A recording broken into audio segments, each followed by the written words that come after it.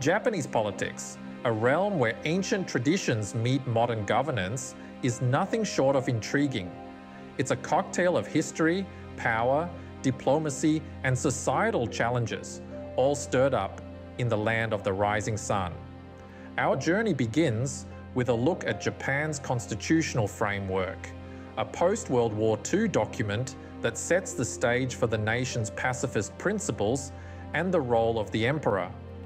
We'll then navigate through the structure of the government, the major political parties, and the electoral process. We'll also delve into the behind the scenes of policy making, economic initiatives, and foreign relations.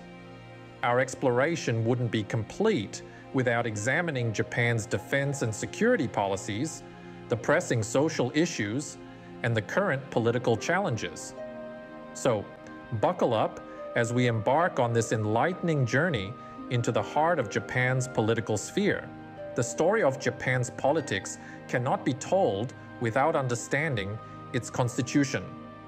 Dive with me into the post World War II era, where Japan's modern constitution was born, a document that fundamentally shifted the nation's political landscape. Known as the post war constitution, or the Constitution of Japan, this document came into effect on May 3, 1947. But what makes it so unique? Well, it's all about peace.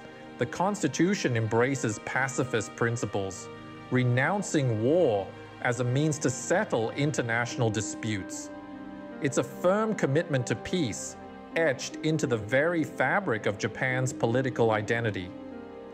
Now let's turn our attention to the role of the emperor. Once a divine figure wielding absolute power, the emperor's role has dramatically changed. Under the current constitution, the emperor is the symbol of the state and of the unity of the people, with no powers related to government. It's a purely ceremonial role, akin to a living national emblem.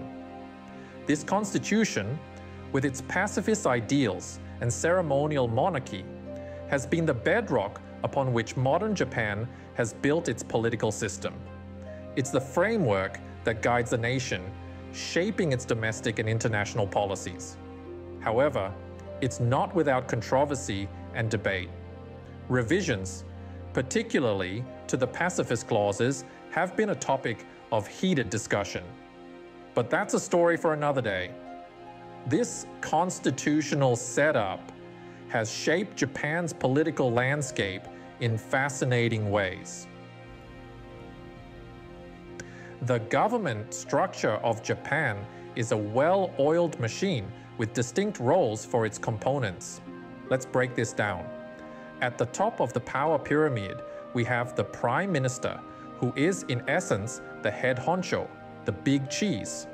The Prime Minister is the executive head of the government and is responsible for the administration of the state. Now, they don't get there by chance. Nope, they're elected by both houses of the Diet, Japan's bicameral parliament, which brings us to our next pivotal component the Diet. The Diet is composed of two houses the House of Representatives and the House of Councillors.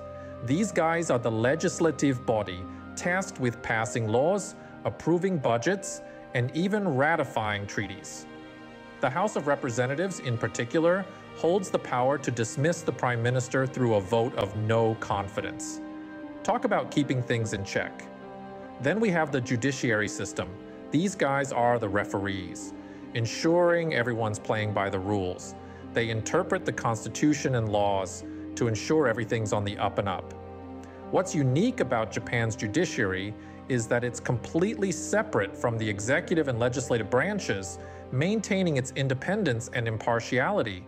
So there you have it the power trio of Japan's government the Prime Minister, the Diet, and the judiciary. This structure forms the backbone of Japan's political system. The heart of Japanese politics beats within its political parties. In the vibrant political landscape of Japan, there are numerous parties, each with its own unique set of beliefs and principles. However, Two parties stand out due to their significant influence the Liberal Democratic Party, or LDP, and the Constitutional Democratic Party of Japan, or CDPJ. The LDP, founded in 1955, has been the dominant force in Japanese politics for the better part of the last seven decades. This center right party is known for its pro business stance and has been instrumental in shaping Japan's post war economic miracle. The LDP's long standing dominance can be attributed to its ability to adapt to changing times and its broad coalition that spans various ideologies. It's not uncommon to find LDP members with differing views coexisting under the same political umbrella. This unique characteristic has enabled the LDP to maintain a firm grip on power. On the other side of the spectrum, we have the CDPJ. Established in 2017, the CDPJ is a center left party that advocates for social justice and progressive policies. Despite being relatively young, the CDPJ has emerged as a formidable opposition force, challenging the LDP's dominance in the grand scheme of Japanese politics, these parties play pivotal roles in shaping the country's policies and determining its direction. They are the vessels through which the will of the people is expressed and transformed into actionable policies. Despite many shifts, the LDP has remained a political heavyweight in Japan. Japanese elections are a blend of tradition and innovation. Now, Let's dive into the unique electoral system of Japan. It's a mixed bag, combining elements of both proportional representation and single seat constituencies. In other words, voters cast not one, but two ballots in the elections one for their local candidate and another for a political party. This system ensures a balance of power and a fair representation of different voices in the government. Now, the Japanese parliament or the Diet, is bicameral, made up of two houses the House of Representatives and the House of Councilors. The House of Representatives, often considered the more powerful of the two, is primarily responsible for drafting legislation. The House of Councilors, on the other hand, reviews and revises bills passed by the lower house. Elections for the House of Representatives take place every four years, unless it's dissolved earlier. On the other hand, elections for the House of Councillors happen every three years for half the seats. This staggering ensures continuity and stability in the Japanese government. Additionally, an interesting facet of Japanese elections is the mandatory age for voting. Unlike many countries where the voting age is 18, in Japan, you need to be at least 20 years old to vote. So there you have it. The Japanese electoral system, with its unique blend of tradition and innovation, is a fascinating study in balance and fairness. These elections shape the future of politics in Japan. At the heart of any political system is policymaking. And in Japan, it's an intricate dance of tradition, modern governance, and a dash of bureaucratic influence. Policy making here isn't just about politicians making decisions, it's a complex process that involves a myriad of actors, each playing their part in shaping the nation's political and social landscape. First off, let's talk about bureaucrats. Yes, you heard it right. In Japan, bureaucrats aren't just paper pushers. They're influential figures who play a significant role in policymaking. From drafting bills to implementing policies, these unsung heroes of the Japanese political system have their hands in every pie.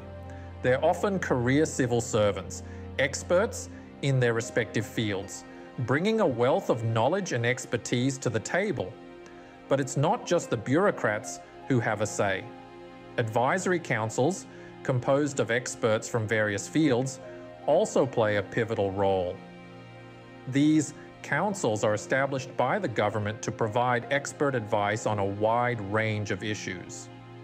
From economic policies to social welfare, these councils ensure that policy decisions are informed, well rounded, and beneficial to the public. So, in essence, policymaking in Japan is a collective effort. It's a system that values expertise, encourages collaboration, and ultimately aims to create policies that serve the best interests of, of the nation and its people. Bureaucrats and advisory councils hold considerable sway in shaping Japan's political future. So, next time you think about Japanese politics, remember the silent powerhouses working behind the scenes. Economic policies in Japan are a testament to its resilience and innovation. After the economic bubble burst in the 90s, Japan had to rethink its strategies. Enter Abenomics, a set of measures introduced by Prime Minister Shinzo Abe. Abenomics is a cocktail of three arrows aggressive monetary easing, flexible fiscal policy, and structural reforms. The aim? Revitalize the economy and end decades long deflation. But it wasn't just about fixing a broken economy. Abenomics also sought to address pressing social issues, like the shrinking workforce. By promoting women in the workforce and encouraging foreign workers, Japan was looking to stabilize its declining population. In recent years, the focus has shifted towards Society 5.0, a super smart society where technology and humans coexist harmoniously. It's an ambitious plan, but if there's one thing we've learned about Japan, it's never to underestimate its capacity for reinvention. These economic strategies have played pivotal roles in steering Japan's economic course. Japan's foreign relations are a complex web of diplomacy, strategy, and history. At the heart of it all is the delicate balancing act between tradition and modernity, just like a well performed kabuki play. Japan's relationship with the United States, for instance, is a dance of cooperation and competition. The two nations share a deep, multifaceted alliance founded on shared democratic values, economic cooperation, and mutual security commitments. Then there's China, an economic powerhouse and a geopolitical rival. The relationship here is a bit like a game of Go, strategic and intricate. While trade and tourism link the two nations, territorial disputes and historical grievances often stir the waters. And let's not forget the neighborhood. Japan's relations with East Asian countries are like a lively sumo match, filled with power plays and tactical maneuvers, all under the watchful eyes of tradition and protocol. Japan's foreign relations continue to shape its political and economic landscape. Japan's defense and security policies are a delicate balancing act. Let's delve into this fascinating dance of diplomacy and survival. In a world where military might often defines a nation's global standing, Japan stands out with its Self Defense Forces, or SDF. Created in the aftermath of World War II, the SDF is designed to protect Japan from external threats, but without the ability to wage war. An interesting paradox, don't you think? The SDF consists of the ground, maritime, and air self-defense forces. However, they operate within the constraints of Japan's constitution, particularly Article 9, which renounces war as a means to settle international disputes. Yet the world is not a utopia, and threats do exist. So, Japan also relies heavily on its security alliance with the United States for its defense. But it's not all black and white. There's an ongoing debate about constitutional revisions, which would allow Japan to play a more assertive role in regional security. This is a polarizing issue, stirring a pot of historical memories and regional worries. On one hand, there are those who argue that Japan needs to adapt to the changing geopolitical landscape.